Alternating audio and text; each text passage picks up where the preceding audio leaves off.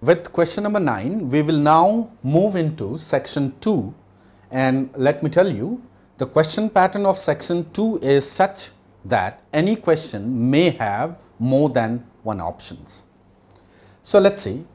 Here there are two setup given. In first setup two infinitely long line charge plus lambda plus lambda. And even here two infinitely long line charge of plus lambda linear charge densities have been given. At the center there are two charges q and minus q. It is very distinct that both the charges are at equilibrium because here both would be repelling and here both would be attracting ultimately the net force would be 0. This direction has been given as x. Now the question is if they are given a small displacement along x first option charges execute SHM both and in the second both will move in the direction of displacement. So, in this way altogether we have to comment about SHM and whether they would move along the displacement or not. Right here if you see if I displace q then it would be in the resultant field of this direction and a positive charge when a resultant field is in this direction will experience a net force in this direction indicating the equilibrium of q is stable.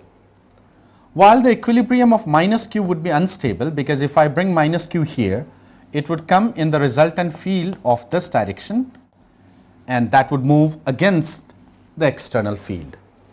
So, quite obviously both the charges execute SHM would be incorrect because one is stable equilibrium other is unstable. Both the charges will move in direction of displacement that is incorrect. Q will execute SHM minus Q will move along the displacement that is correct. You see that Q executes oscillatory that is very clear by observation and if you calculate the net force using the value of electric field as lambda by 2 pi epsilon naught r, you would find that the net force on Q would be directed towards the mean and that would be directly proportional to x as well provided the condition the displacement is small which is already given. So, option number C would be correct and if C is correct D would be incorrect. As I had already said this section has questions where more than one options may be correct. So, you got to be very very clear, but out of this we get only one correct option that is option number C. Now, let us move to question number 10.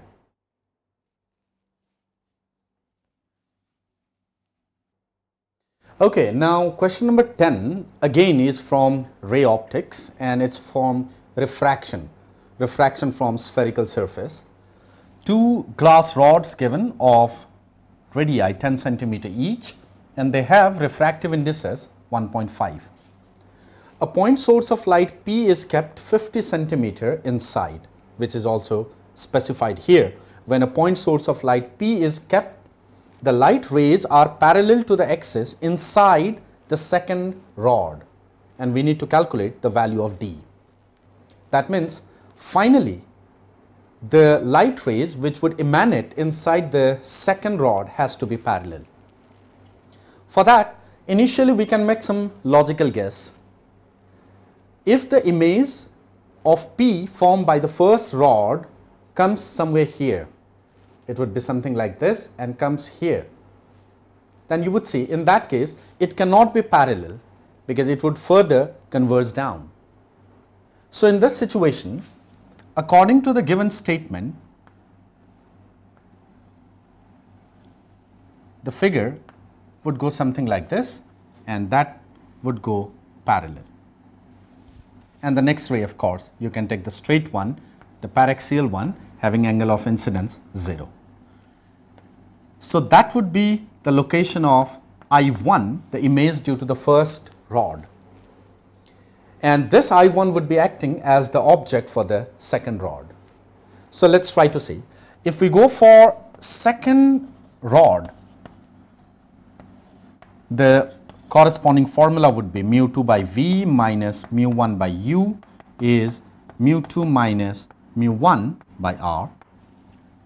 mu2 being 1.5 and v would be infinity minus mu1 being 1 and u that has to be calculated mu2 minus mu1 would be 0.5 and radius that comes out to be 10 and plus 10 owing to the sign convention you would get u as minus of 20.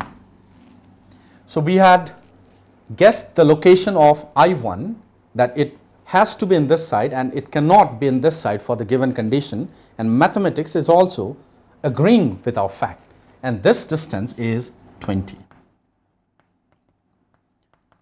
Now, once I know the value of this distance, if I will be able to calculate this distance, then summation of these two distances would give me the value of d. So, let us go for the first rod.